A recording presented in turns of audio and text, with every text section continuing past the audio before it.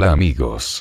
En esta ocasión es Ultimate Black, Eau de Toilette, es un nuevo perfume de Otto Kern, para hombres, y fue lanzado en 2021. Siendo comercializado por Maurer y Wirtz. Notas de fragancia. Notas principales, estos son los aromas que percibes cuando te aplicas la fragancia, y en este perfume son, canela, y pimienta rosa. Le siguen las notas de corazón, estos son aromas percibes de media a una hora después, y en este perfume son nagarmota, sabio, y lavanda.